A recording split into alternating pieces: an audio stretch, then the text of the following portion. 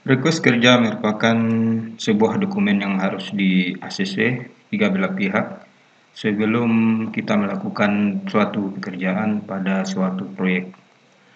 Tanpa ada request kerja, pekerjaan tidak dapat dihitung dalam volume pekerjaan atau disahkan secara legal. Maka dari itu, setiap pekerjaan itu harus kita penuhi request kerjanya terlebih dahulu sebelum melakukan pekerjaan.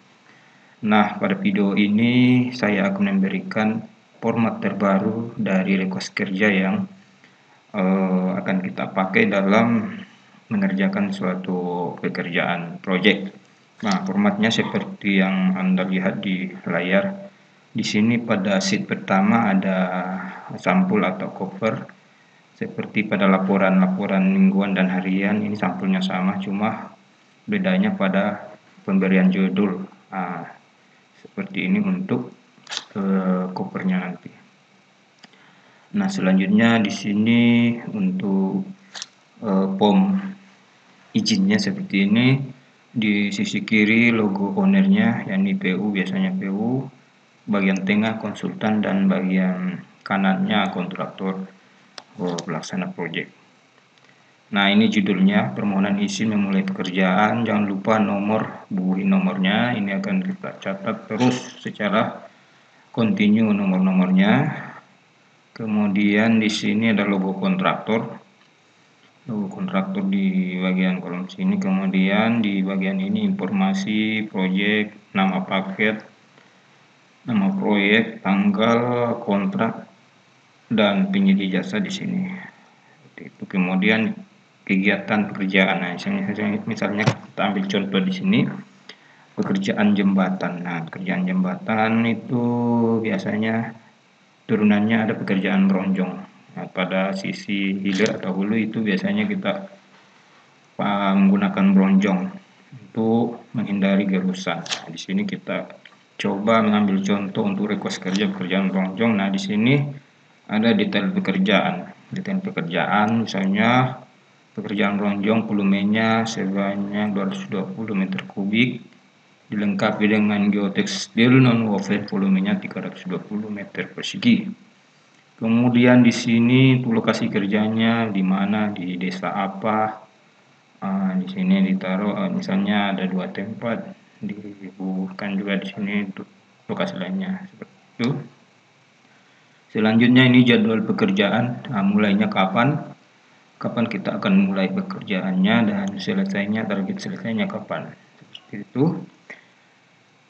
Uh, ini ada diperjelas nanti di lampirannya lampiran uh, request kerja ini. Nah di sini ada dokumen yang kita lampirkan mulai dari gambar kerja sub drawing. Nah ini harus kita lampirkan uh, statusnya apa sudah di ACCK tanggal ACC nya berapa referensinya uh, drawing verifikasi pengawas di sini ya nanti konsultan yang akan uh, menyetujui di sini untuk gambar kerjanya. Ini uh, kita ambil dari drawing yang telah ditandatangani tiga belah pihak contohnya ini untuk contoh pekerjaan meronjong nah ini sudah sudah ditandatangani di sini. Tiga belah pihak di sini ada uh, tanda tangan namun saya uh, sensor Nah, di sini sudah ditandatangani. Nah, inilah gambar ronjongnya. Pemasang ronjongnya seperti itu. Kemudian metode kerja, jangan lupa metode kerja. Kita lampirkan juga untuk metode kerjanya. Nah, ini adalah contoh metode kerja yang eh, telah kami buatkan. Nah, di sini semacam laporan. Nah, petunjuk. Nah, ini ada acuan-acuannya peralatan, Nah, meskipun nanti kita uraikan juga tersendiri untuk peralatan dan materialnya. Nah, ini metode kerjanya kita lampirkan semua seperti ini. Ini tata caranya untuk melakukan uh, pekerjaan bronjong. Seperti ini ada kemudian penanggung jawabnya siapa, proyek manajer, pelaksana lapangan, site manager. Nah, ini penanggung jawab nah, petugas ketiga juga harus ada. Surveyor juga nah, ini harus ada.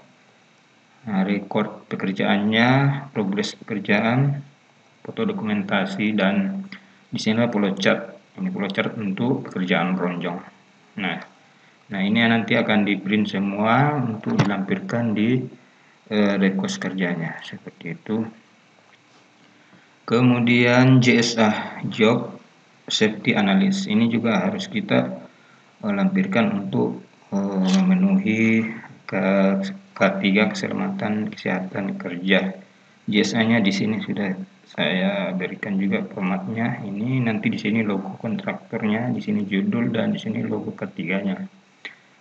Nah ini jangan lupa juga nama-nama paketnya dilengkapi di sini pengawasnya departemen HSE nah di sini di JSA nya nah seperti ini ada langkah-langkah yang harus kita uraikan di kolom ini. Kemudian di kolom kedua identifikasi bahaya. Bahaya apa saja?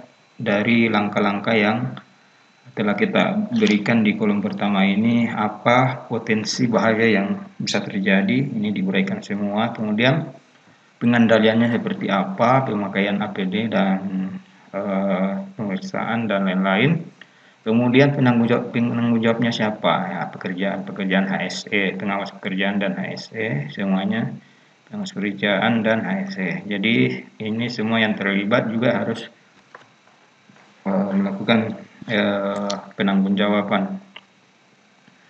Kemudian uh, ditandatangani oleh direksi ketiga supervisi dan HSE advisornya. Nah, di sini harus ditandatangani juga baru dilampirkan di request kerja yang ada di sini. Selanjutnya lampiran keempat yaitu jadwal pelaksanaan. Nah ini jadwal pelaksanaan kita uh, buat schedule-nya seperti ini. Di sini logo kontraktor saja. Ini tidak usah ada tanda tangan. Nah ini kita bulannya Juni, Juli dan Agustus. Ini kita bikin semacam oh, jadwalnya seperti ini. Ini berdasarkan jadwal yang ada di sini. Selanjutnya uh, untuk onset material, alat dan tenaga kerja ini juga kita harus lampirkan seperti ini material onsite-nya berapa bronjong batu kali geotekstil normal timbunan tanah dan uh, di sini kondisinya layak tidak layak nah ini harus kita centang nantinya ini untuk equipmentnya atau alatnya kita uraikan juga di sini layakkah dipakai atau tidak nah di sini ada catatan Nah, ini dicatat nanti oleh konsultan pengawas seperti itu. Ini tenaga kerjanya. Nah, ini apa saja tenaga kerja yang inti yang ada di lokasi seperti itu. Nah, setelah uh, lampiran ini sudah terpenuhi semuanya, maka bisa kita ajukan ke uh, konsultan. Ke ya, ke pimpinan kontraktor terlebih dahulu. Maaf. Nah, di sini manajer lapangan atau set manager, ini namanya siapa, tanggal berapa dia tanda tangani, kemudian diajukan oleh manajer proyek atau atau project manager di sini namanya siapa, tanggal berapa dia tanda tangan. Nah, setelah ia ditandatangani oleh pimpinan, kemudian kita ajukan lagi ke konsultan. Nah, ini diperiksa oleh tenaga ahli jalan dan jembatan ini namanya siapa, tanggal berapa dia tanda tangani. Kemudian disetujui oleh tenaga ahli manajemen konstruksi. Di sini namanya siapa, tanggal berapa dia tanda tangan. Itu. Dan di sini ada hasil pemeriksaan dan verifikasi pengajuan pilih salah satu. Nah, jika pekerjaan dapat dilaksanakan, maka ada konsultan akan mencentang ini.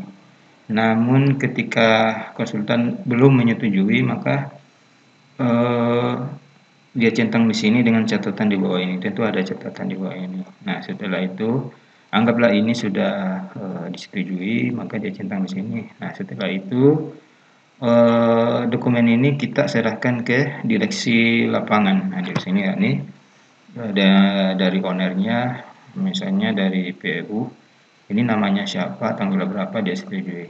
Nah, setelah itu, setelah dia periksa dan tanda tangani ACC semuanya maka eh, pekerjaan dapat kita laksanakan seperti itu cukup mudah dan gampang kita pahami Seperti itulah teman-teman request kerja yang kita akan ajut, uh, penuhi sebagai dasar untuk memulai pekerjaan.